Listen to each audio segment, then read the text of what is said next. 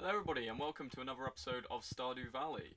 Now, I haven't actually recorded an episode of this for a while. Um, well, that's actually a lie. I did record this exact episode already, uh, but the perspective was all fucked up, so I had to re-record it. Uh, and that's what I'm doing now. So, I'm just going to check the weather report. Uh, it's going to be clear and sunny tomorrow. For the luau. Cool. Um, yeah, um, if you see anything that's different, it's because I got it in the last episode, but that footage is kind of unusable because of the perspective. So, um, dear Isaac, we're, tomorrow we're all gathering at the beach for the annual Pelican Town Luau. The highlight of the event is the communal potluck. Make sure you bring something to, good to contribute. The governor himself is attending the event, so make sure you're on your best behaviour. Come to the beach sometime between 9am and 2pm. I think we might just do that. Yeah, in the last episode, we actually got um, the, the unaired episode. the we actually got this drum block um, from Gunther, which apparently makes a noise every time you pass it, which is you know all nice. Uh, put on some iron as well, which is now done, uh, and I'm going to put some more on. Oh, and that's all my iron used up. Perfect. Uh, put the wood back in there. Yeah, I don't know why these aren't planted.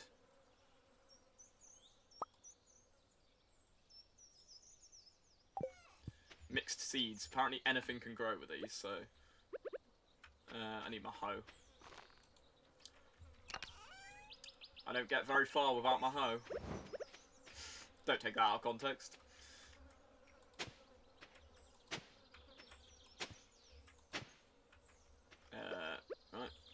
You, you, you. Uh, oh, and then you're actually not needed, so there you go. Uh, right, I'm just going to cut while I do the watering, and I'll be back in a sec.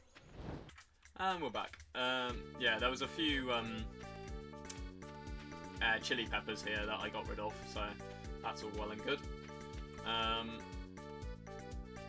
there's some iron done, which we'll put in the chest and then probably never think about again. Speaking of, though, I do have some copper bars, and I kind of want to upgrade my tools, at least the axe, so that I can get into the forest. Um, the forest that's in the bottom half of the map.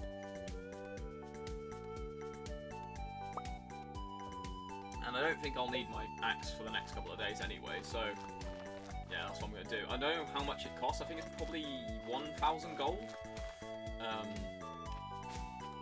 So if it is, I'll be able to do that now. Especially since it's the luau tomorrow, it's the perfect time to do it, really.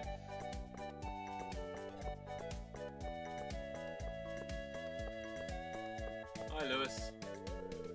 The moonlight jellies will be here soon. It's one of my favourite things about the valley. Moonlight jellies. I'm guessing he means jellyfish. Not just, you know, some sweets. It'd be kind of disappointing it was just sweet.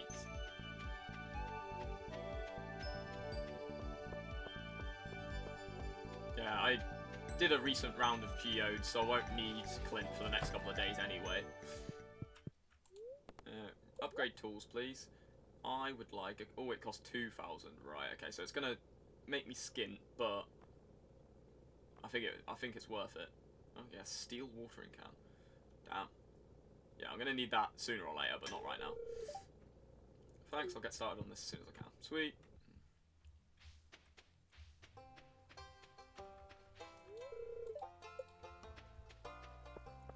I can't get ice I can't just pull ice cream from the freezer, unfortunately.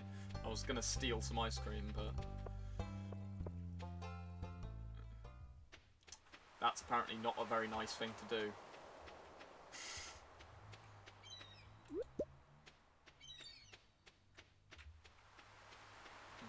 Apparently you can't just kick a kid in the face and take his ice cream. Who made up these rules?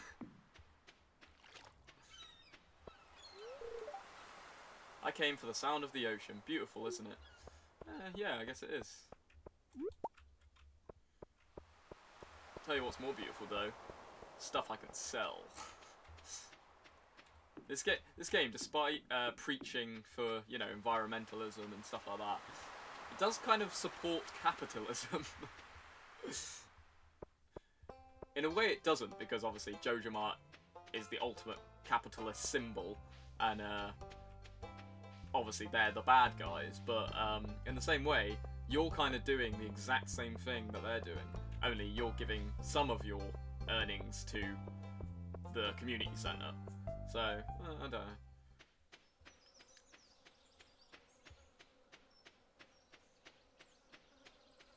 Tricky. Might make a video one day about the uh, the political stance of Stardew Valley. I think that'd be a fun video idea.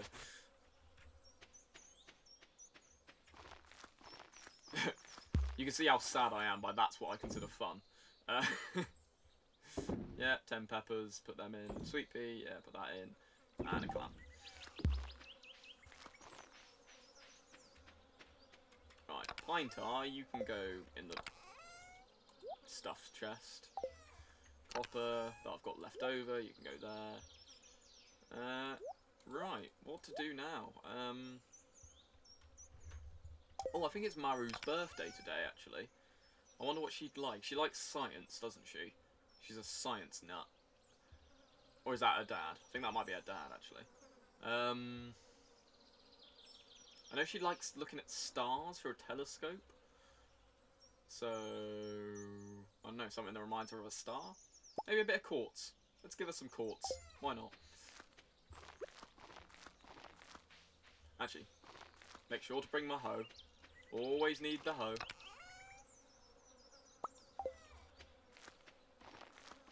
Bringing my hoe to go see my other hoe. AKA Maru. Who isn't my hoe at all, because if I look at my uh, relationships, Maru is like so far down. I don't think I've even ever spoken to her. Yeah. Never given her a gift. You haven't given any gifts of, of this kind. Yay. Oh, you can actually see their favourites if you've already given it to them. That's that's really interesting. I never knew that. Uh, yeah, here we go. Gus, I gave him a sweet pea on his birthday and he liked it, but he didn't love it. Linus, I've given him grapes and sweet peas and he likes both of them. I've given Shane a beer and he loves beer. And that's it. Apparently I don't interact with the townspeople much. Uh, there's another sweet pea up here, so I can give that to someone. Probably Linus again, to be honest.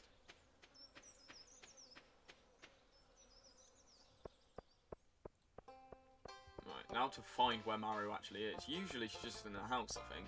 Up here. Oh, hello, Harvey. Remember to cover your mouth when you sneeze. Do you want a sweet pea, Harvey? Oh, no, I didn't want to eat it. Ah, shit. Oh, well. I was going to give that to Harvey, but uh, just nommed it right in front of him instead.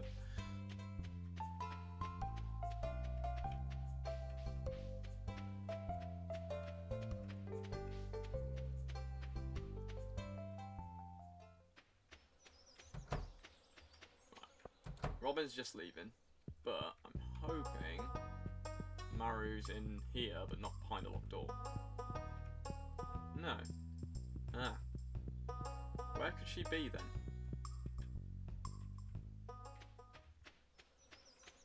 She oh she sometimes hangs out near the community centre I think by the waterfall, not the waterfall the the, the um water fountain.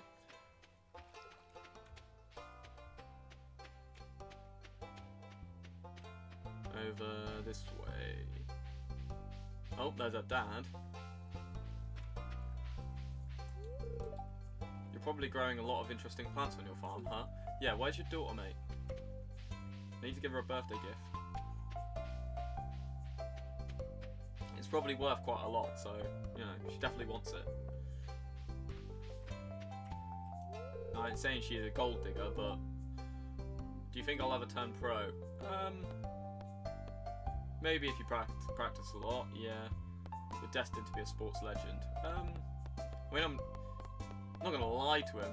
He's probably not. He's, he lives in a small town. You know, he might he might be good at sports here, but if he, you know, moved somewhere else, he might just be small potatoes. So, Maybe if you practice a lot. Yeah, well, I'm so good. I'm not going to have to practice all that all that much. Okay. Clear arrogance and not wanting to practice. That makes you very um not likely to to become a sports legend. Hello, Marnie. You can use a uh, scythe to cut feed from grass. I know, but I don't have any animals, so it's not actually that, that, that important right now. What is important is that I find where Maru is. I don't think I've ever seen her at the beach, so I don't know why I came down here. Actually, she might be over this way. No, no, that's just Leah, isn't it? Yeah.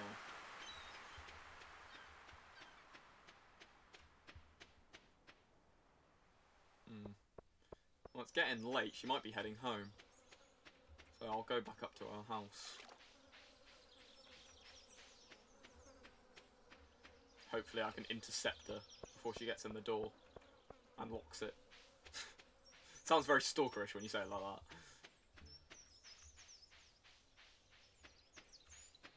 It's, I swear, it's so I can give her something nice. Ah, there she is. Don't go. No. Ah, let's get you going to go look at the stars. Good. Uh, right, here you go. Have a quartz. Birthday gift. That's very kind of you. I love it. Again, I don't think you love it, otherwise a heart would have appeared, but you like it, so that's good enough. Uh, right. Yeah, if I go down to... Oh, where's she now?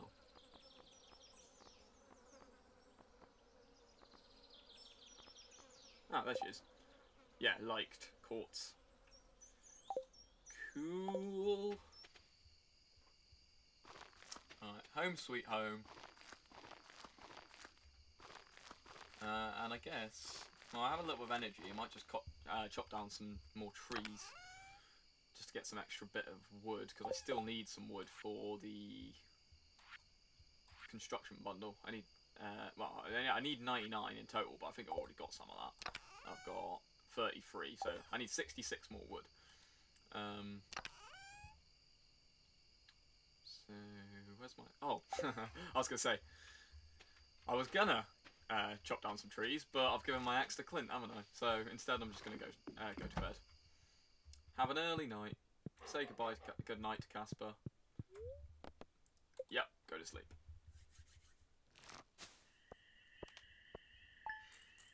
A little bit of money coming in.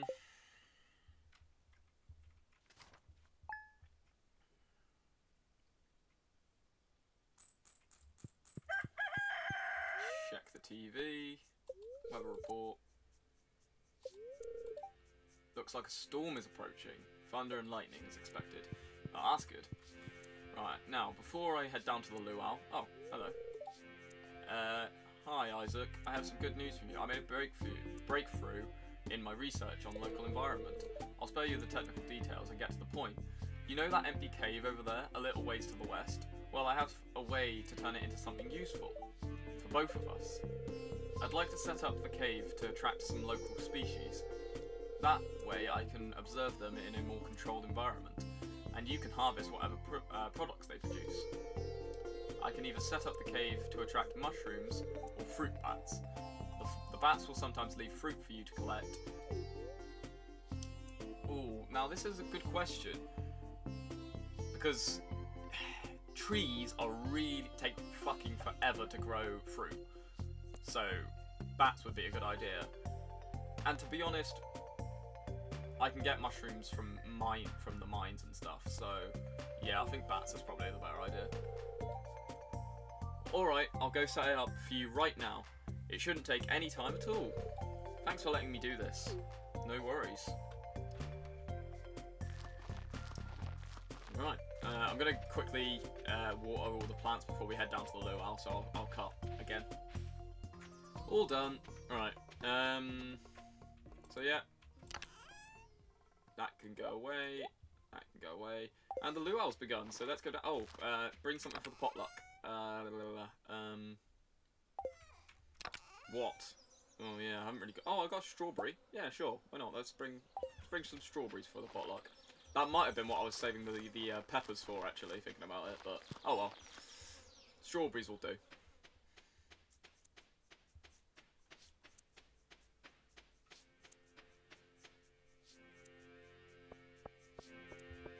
We're going to be arriving 30 minutes late, you know, fashionably late as always.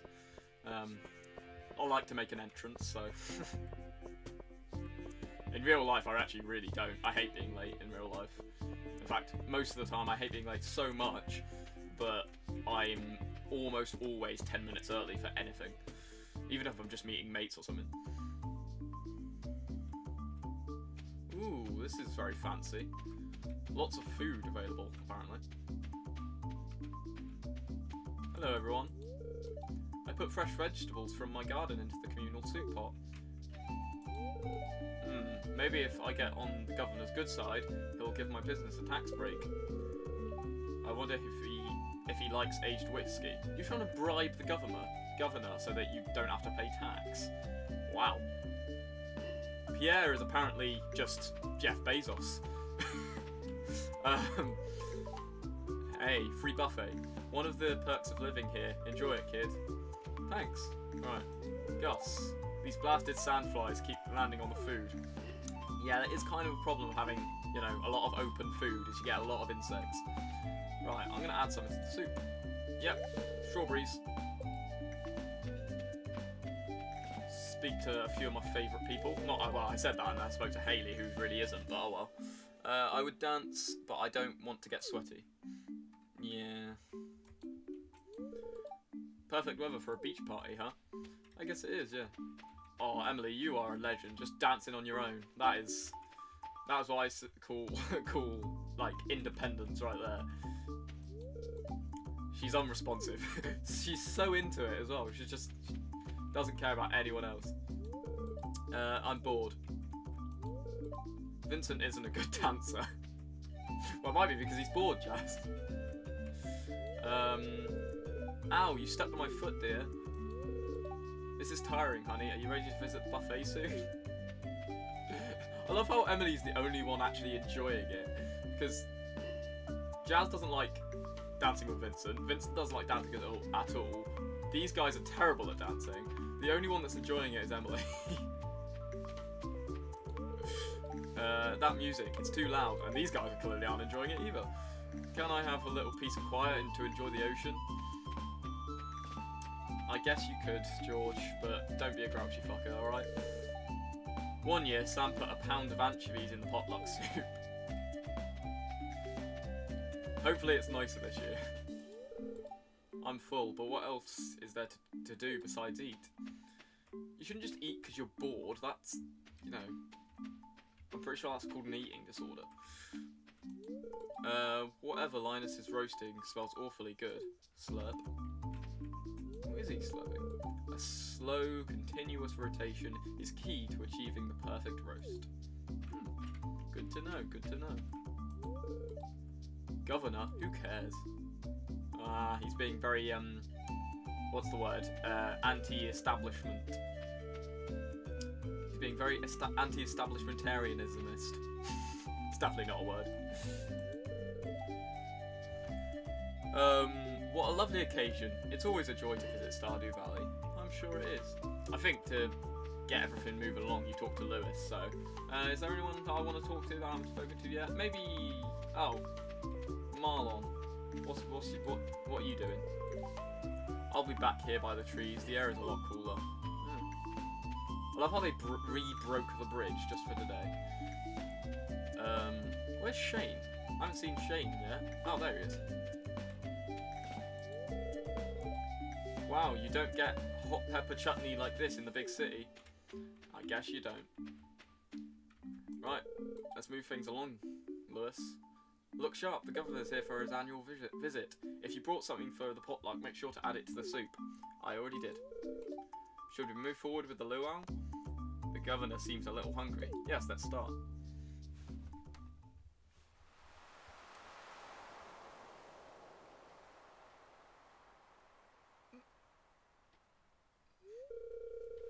Well, folks, it's time once again for the potluck ceremony. I trust that you all put high quality ingredients in the pot this year. We don't want the government to regret his visit to to the valley. I wonder if you deliberately put something really shit in there. What's his reaction? Well, Governor, would you do us the honours of tasting the soup? Of course, I've been looking forward to this all year.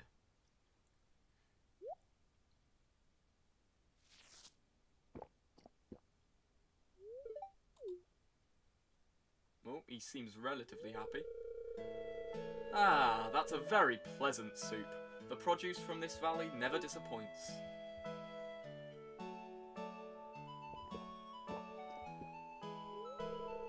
Mmm, tasty. You all did very well today. Now, who else wants some soup? Yeah, the strawberries went down well. the luau was a success. Good thing I brought something tasty for the soup. Time to head home. Ah. That was a very productive day. Well, kind of. I mean,